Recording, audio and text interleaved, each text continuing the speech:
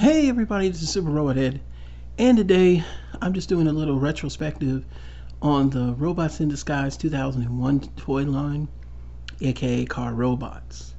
We were having nostalgia talks about this line today, and with some friends of mine who I've been collecting with for about the same amount of time of over 20 years now. And I remember when this line first came out and we were talking about how much money we spent to get the Car Robots versions of these toys. And a lot of people don't realize that when this line came out or was announced to be coming out, people were super excited. The collectors, those who knew about the Japanese lore, because we were coming back to actually having vehicles and leaving the Beast era, which a lot of people did not like. I liked it, but I had to learn to like it. But overall, knowing that we were going to get cars again for Autobots made everything super happy, for me anyway. So let's start off. So in Japan, in the car robots line, the first one that we got was Speedbreaker. Uh, Speedbreaker was a uh, some people say Corvette, but he's not a Corvette. It's a Dodge Viper. Um, the decals were really nice. Nothing really was different from it when it got released in America. Pretty much everything was the same. The only I think the only difference is they had an Autobot symbol on the hood, where Autobot symbol wasn't on the hood in the Japanese version but I don't remember any stark differences between the two. And even when we got the supercharged version or the super mode or X mode, there was no difference in paint job either when you got the red version of the toy. Now the next one is going to be Mach Alert. Now when Mach Alert came out, he was pretty nice for a lot of people because he was a Lamborghini. And in the mind, of course, everybody was wondering if we were ever going to get Sunstreaker and uh, Sideswipe, which we did, of course, in OFTCC. Um, but this one I actually like because when you transform him, the feet actually become like seats, and I always thought that was pretty cool. Now, most of the deco of him was clear, whereas the American version, which was known as Prowl, everything was kind of a smoky gray, and the kind of clear looking weapons became opaque. Also, on the hood of the car, you got an Autobot symbol but it still retained the same Japanese writing on the side. Um, it still had the rubber tires, which was also very cool. Some say the rubber on the American toys have a tendency to crack, but I still have rubber tires on mine and they haven't cracked on the American version.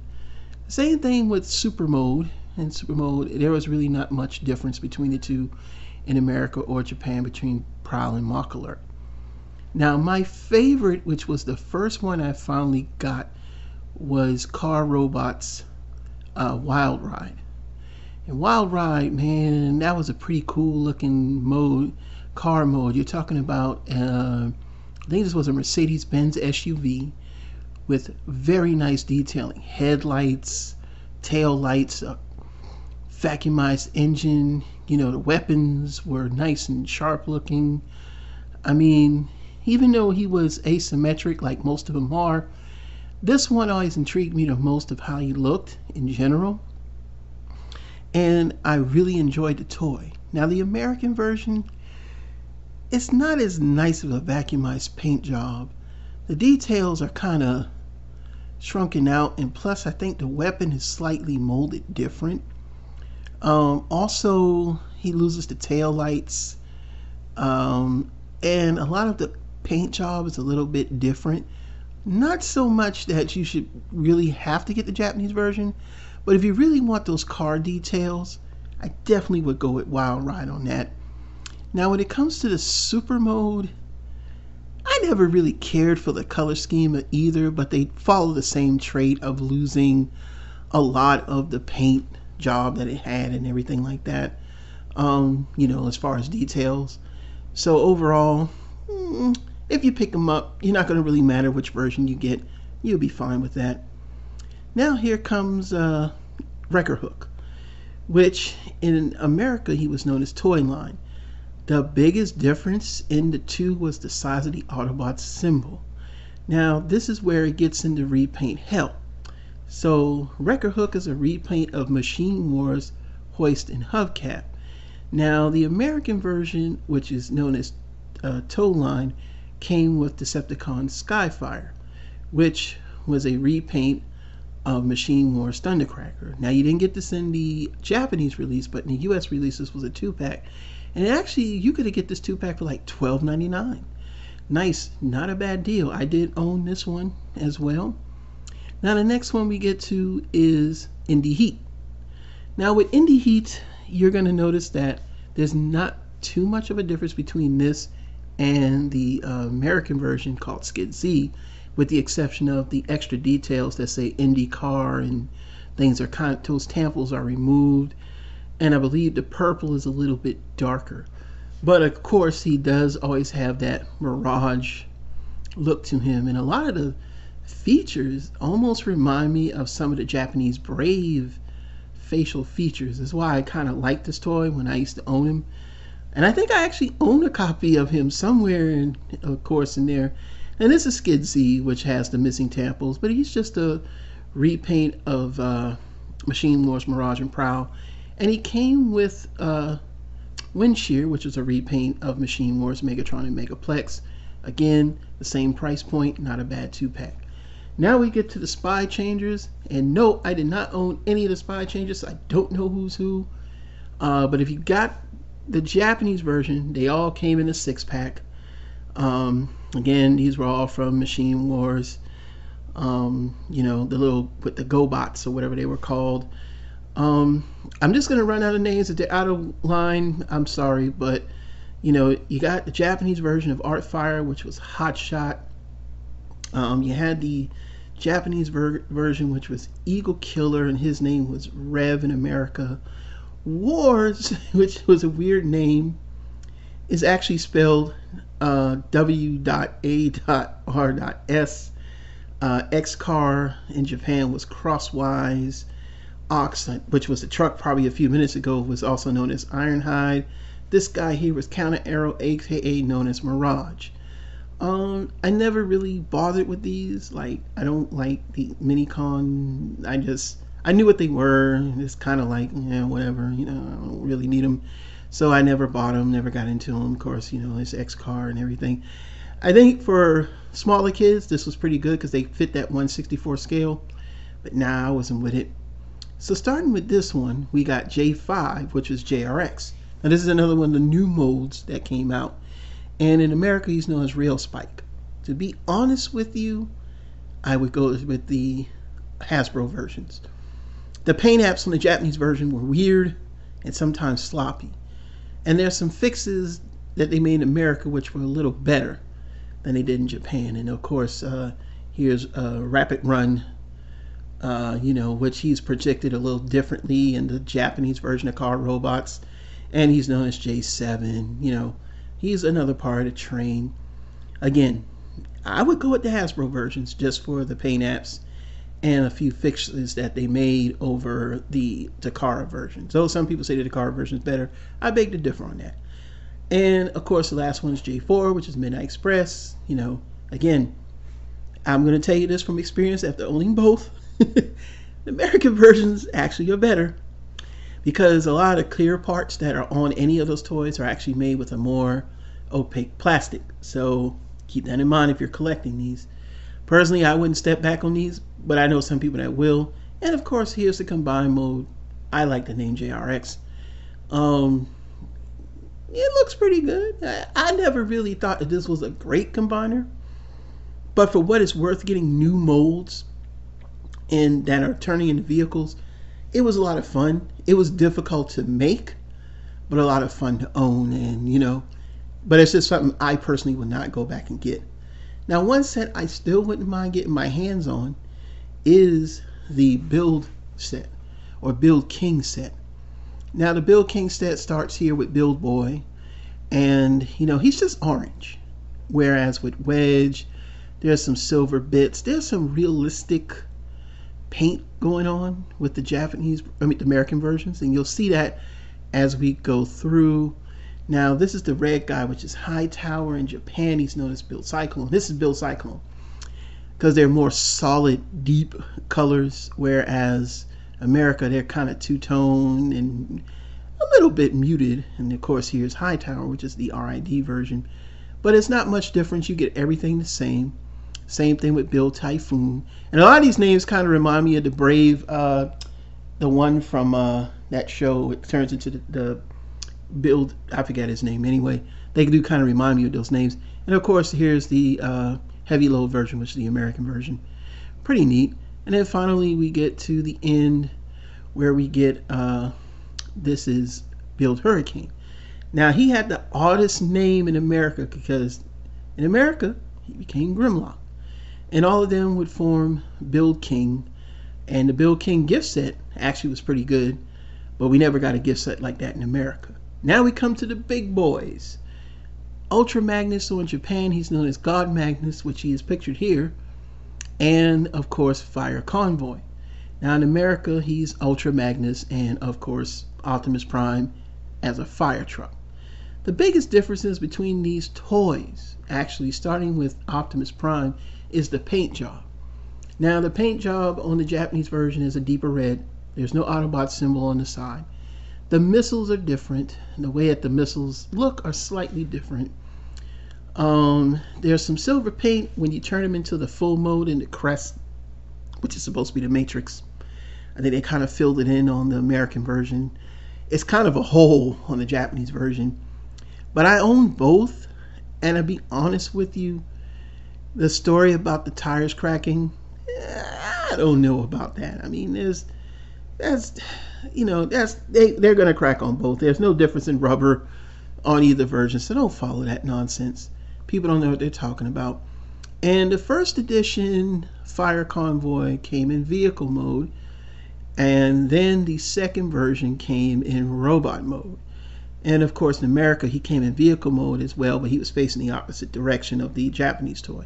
I've owned like three of these, so I know what I'm talking about. I owned the first release, which was in vehicle mode. Uh, the second release, I owned two because I had to get that later on because I sold my first release, and then of course I had the American release. Uh, I, I, would say it doesn't matter which version you buy. It doesn't matter if you buy it from someone that you it's used. Just do your own inspection and ask questions because you're mainly going to be getting it off of eBay or off of uh, trade groups on Facebook or other means where you trade.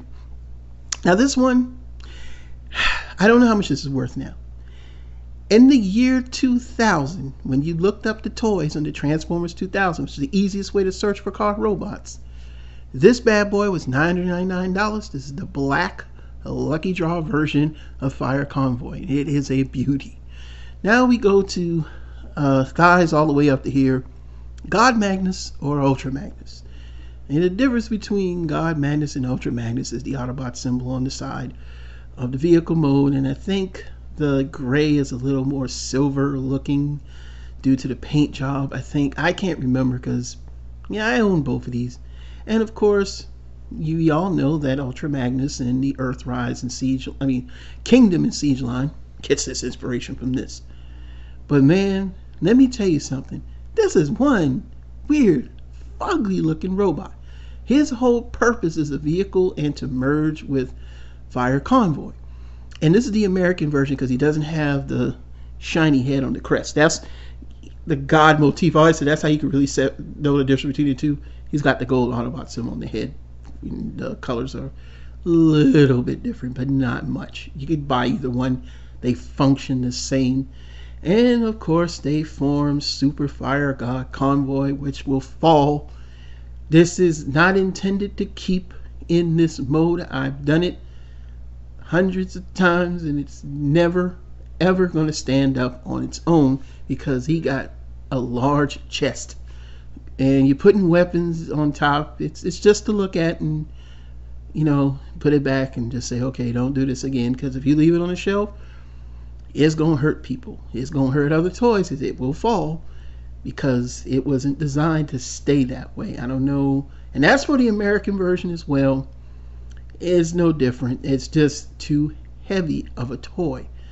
And if you were in Japan, you could get the TRU set, which came with the, you know, the God Sword or the Max Sword or whatever you want to call it. And that's the only way you could get the sword. Now, this is the Encore release, which was terrible. By the way, don't buy the Encore release. But there is a special edition TRU version that comes in a very similar box, The only difference is, is that I think believe on the inside, God Magnus and Fire Convoy are the clear versions. I've seen this. I know somebody that owned this. It's nice, but I don't like clear. You know, it doesn't really resonate with me. So I didn't buy this. At the time, in like 2000, 2001, this would set you back about 300 bucks. And here's a picture of it from the inside. And I mean, you literally had to, if you really wanted to complete uh, basically car robots, because we didn't get everything released in uh, RID, you had to buy this because you would need to get the sword to go with this guy. This is Brave Maximus, and he's missing a lot of stuff. Uh, he's missing guns. He's missing like the car that rolls, you know, that comes with him. He doesn't come with the sword either, so he's kind of like a bare bone, bare bones Fortress Maximus, and he ain't even uh, not Brave Maximus. Uh, what's the other guy's name? Um, his brother. He's not even him. He's just his own. He's really just Fortress Maximus without a lot of stuff. He was intended to come to America, but he never did. I really, if this is your completest, don't buy this because you're not going to get everything. You're probably going to pay too much, and you could have spent your money on something else. Um, you know, so pass on that. Now we come to the Predacons or the Decepticons, and of course you know who this is. This is a Gushar, which is a repaint of Transmetals 2 Spittor. Um, what can I say? They just function the same. They're just a different paint job. You know what I'm saying? I mean, like, you know, just a different paint job from Spittor. And in America, of course, uh, Gushar is known as Slapper. Yeah, makes sense. And this guy is known as uh, Guido, or Guido, and I know him as Dark Darkscream. I always thought the name was cool. I love the paint job on this. And also, if you bought the three pack in America, they're basically the same. They're really not much different. Of course, he's a repaint of uh, I forgot this guy's name for the life of me, but yeah, he's a repaint of that guy from Transmetals 2. So I forgot his name. I'm so sorry. I don't have time to look. And then here's Gasskunk. And Gasskunk is the same Gasskunk. Only difference is it's like gas then space skunk. Um, it's the same toy. Like literally, if you bought the American version, like if you couldn't find this, you're you're not missing out on anything. It's, it's, it's exactly the same. I think the paints, the black is a little more of a brownish hue, a little bit, but all intents and purposes, they're the same. Nothing to talk about here. Then of course is my man Skybite, and in Japan he's known as Gelshark. Now I'm not gonna lie, I always loved the repaint of Transmetal 2, uh, or is it Transmetal? Um, Cybershark. Because let's face it, Cybershark wasn't that great looking, but this paint job, it looks like he's wearing a hat. Like he's wearing like a big, tall hat. But other than that, I always loved the colors on him. I always thought he was fantastic. And of course, there he's a repaint of this guy who always looked plain to me, green and yeah, they took some liberties with the colors, but you can see the differences. Now we get to what I call the Combatricons. Yes, they're a group versus Ruination, which were Decepticons. Now you know the story. Scourge, or AKA Black Convoy, is actually their leader, and they're all part of the same frac- faction, which is the Combatricons. And this is the uh, I got his name in Japan. Oh, Green Jeeper, and his American name is Rollbar. And they're pretty much about the same differences in paint here and there. And of course, there's Shuttler, which he was a white repaint of Blastoff, and uh, he had the Combatricon symbols on his wings. Where if you had the American version, he's known as a Mover, and he had Decepticon symbols. That's the only difference. Now, the biggest difference is going to be with Dangar, Dangar, because he's brown you know, to kind of match the motif of the entire version of Baldigus. And, you know, he's got the Combatricon, which is an upside down Autobot 2, G2 Autobot 2, G2 Autobot symbol. His repaint in America was known as Armorhide, and he was blue, you know, with the same details. And of course, he has Decepticon symbol. All of them came with guns. And then we get to, uh, I think his name was Heptor Again, he's got the you know same weapons and same color scheme as uh, Rotor. The only difference is he's Rotor is a little more bluer and has a Decepticon symbol instead of the uh, again G2 upside down Autobot symbol. Um, they are very similar in paint. You know, I I keep thinking that they were so different, but now that I'm looking back at them, like how they're the same. And now here comes the leader, which is Dolrailer, and you know he's an olive green. You know, more he everything kind of works in his favor. I love the colors on him. You know, he's still, you know, uh, I forget the leader, the, the Combaticons, but he's just a repaint of him. Does the exact same thing as the original uh, toy that it was repainted from, and of course this is Mega Octane. Now he has the gray that's very similar to the paint scheme that would be on a G1 Bruticus, and I always said that this toy, when you put the American version together, they look just like G1 Bruticus with different colors. They, but it's it's a ugly. It doesn't match the cartoon. And I know kids are probably wondering why. Now, if you got lucky and you live in Japan, you got the box set. And the box set was pretty cool. Comes with all the weapons. I don't think they came separate. I'm not remembering 100% sure, but here is Valdigus. Now, this is how you look in the cartoon. The upside down Generation Autobot 2 symbol. This is how you're supposed to look. And this is the colors that match the cartoon. But when we get to the American version, you know, for you kids out there who grew up and this was your show, y'all basically got a funky repaint of G1 Bruticus, man. Because he got the gray parts and, you know, he's he doesn't match the cartoon at all whatsoever. I don't know why they took this art of liberty a, a strain away, but that's okay. And of course, later on in the still RID line, you got the Walmart camo, ice camo or gray camo version of uh, you know Ruination, which was pretty good. Now we get to my man. All right, collectors, do you remember trying to pick him up in around 2001? I think he run you about a hundred dollars. Cheapest I seen him go was like 75, 80 bucks, if you're lucky. This is the one that everybody wanted. Black Convoy. That's right. And man, that sword is so cool. A little sharp, a little sharp, not mainly sharp, but it's clear. You can see through it. He's got the correct weapons that shoot off that rocket into stratosphere hell. Uh, everything was just nice, deep, dark. No extra tampos, no Decepticon symbols anywhere. Just the evil black oil tanker that was a repaint of G2 Laser Optimus Prime and I own him and I still have him and I've had this toy since 2003. I don't have all the parts, but I got him. And let's get to Scourge. Now, Scourge, they took some liberties. They changed the sword, made it a little more opaque. I think you can't make the weapon shoot off as far. I forgot what else was missing. The paints are slightly different, but he's got a ton of Decepticon symbols on him, and he's not a Decepticon. He's a Combatricon the leader of the Combatricons. They're, they're their own faction. I have to narrate this in the Japanese version. But still a worthy pickup if you could not get Black Convoy.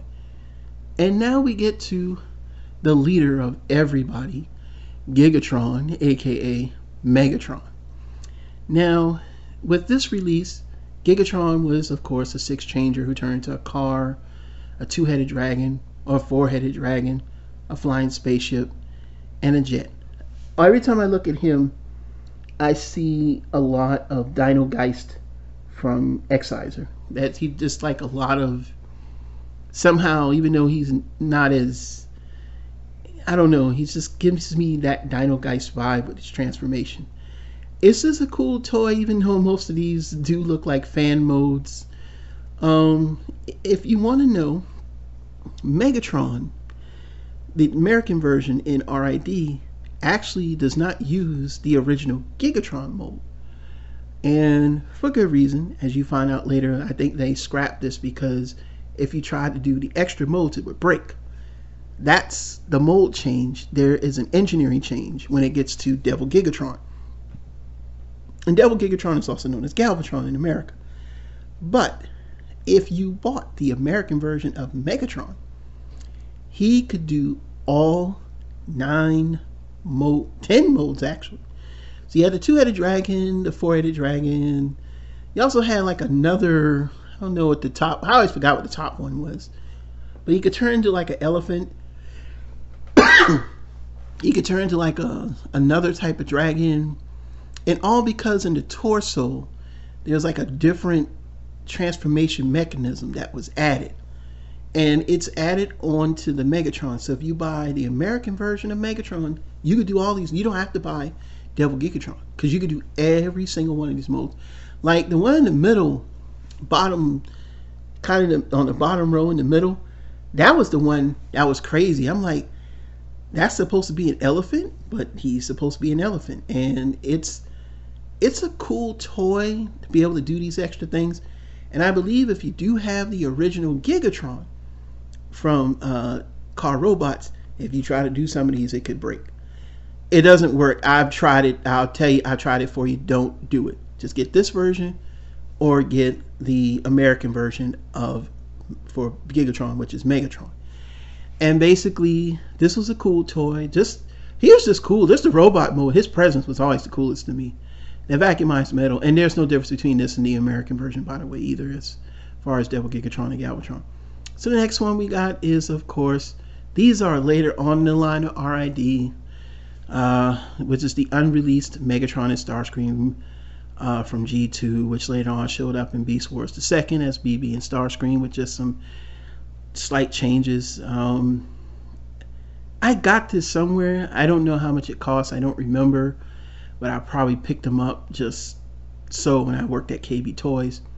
Now the next one here is Mirage GT, which is a repaint of Beast Machines Vehicon Mirage, and it came in a three pack. Uh, the next one is Night Cruise, which is a repaint of Beast Machine Spy Streak, which I never found Spy Streak. I don't even know it. I didn't even know it existed until they got this guy. And then finally, we got Scavenger, which is a repaint, the same of Beast Machine Scavenger. Uh, this is not one of my favorite toys. It's ugly to me. And now we get to Stormjet, which Stormjet was kind of like the you know Jetfire for RID if you want to call it that. Actually, I like the paint mold in this one, and then of course you had Jhiaxus, which is was this repaint, and all of them are a repaint of Beast Machines Vehicon Jetstorm. Then we get to this guy, Cryotech. He was also in the RID line for America only. Now I'm going to tell you, some people will say well they saw him in Beast uh, Wars, you know, Transmetals or Transmetals 2, you did not get this. This is RID, so don't lie. Don't tell stories. This is RID. And when this came out in RID, I didn't buy them. I wish I did, but I didn't buy them because I owned the Megatron. I didn't really want a blue repaint, but I should have picked them up. Now I think this is Megabolt. I have him in a closet somewhere. Um, he turns into a tank head thing. And then there's the Megatron Megabolt, which does the same. And you're supposed to be able to put this on top of Brave Maximus, but again, they didn't release Brave Maximus in America. Screw you, Hasbro. And then, of course, there was the Walmart. I think this was a Walmart exclusive. It was the yellow uh, repaint of Landfill or Build King, which was all yellow. This is the ugly one. The best one is the Target one that turned that was repainted Devastator. And at the end of the line, we got Air Attack Optimus Prime from the giant version from Beast Machines, but he was put into the RID line. My friend still has this to this day. And this toy is, even with the clear plastic, held up nicely. Not my cup of tea, but my friend's a Beast Wars collector, and this toy is hot. It still looks good to me. And then we come to the Walmart. Uh, this was uh, Axer who's a repaint of G2 Road Pig. And there's some slight retooling, I think. And he has like a light up weapon. You hit the little button, it lights up. And of course, here's side, RID Sideways, who turns into an, that fast looking motorcycle. And he was a repaint of G2 Road Rocket. I love this toy. This toy, he always had that like, I used him as like my ninja when I had my, you know, when I played my toys. I don't play with my toys anymore. Um, now we get on to Decepticon Bludgeon, which is a repaint of G2 Hero Megatron. I did not buy these. I should have bought them. I don't know how much they're worth. I think they might be worth some money, but I don't really look for these. And then the last one we have here is uh, Destructicon Scourge, which was a repaint of G2 Hero Optimus Prime. Again, I didn't buy this because I already had Black Convoy. So I didn't think I really needed to get this, but I think he goes for some money. I'm not sure. You know, it's entirely up to you to look for him on eBay if you want. So overall, that's about a nutshell the entire line. If I missed anything, it's because it's not really important. It's just more repaints, you know, of like spy changers or anything like that. My take on this line in the beginning, I was excited when it first came out, and I did drop a lot of money on the car robots versions because they were hard to get and you know you had to even your searches had to, you had to search for transformers 2000 to really find them because a lot of retailers were finding it hard to type in car robots because you get carrots most of idea at the end of it, when I got into Armada Micron Legend, I realized that a majority of the line was mostly the Autobots getting new modes and most of the Predacons, Decepticons getting a hellish amount of repaints. They reused a lot of molds for this line, but it's probably one of the most economical lines that Hasbro ever made because the fact that they didn't have to do a whole lot of stuff. They had like maybe 35% of the line was new molds and the rest was just repaints. And you can market them as so and make your money because all you got to do is just repaint them. You don't have to go out and hire engineers to make new molds. So all in all, for me, the Toy Life RID was pretty cool. But going into the, the Unicron trilogy, that was to me a breath of fresh air. What are your thoughts? I know for a lot of people, this was your version of G1. For me, this was a reinvention of G1 because I was 27, 28 years old when this came out. Uh, but leave your thoughts down in the comments below. How did you feel about the toy line? Did you enjoy it? Did you like it? Again, my name is Super Robot Ed. I thank you for all the new subscribers, all the ones that left, all the ones that came back. I appreciate it. Thank you. Have a great night. Have a great day. More to come real soon.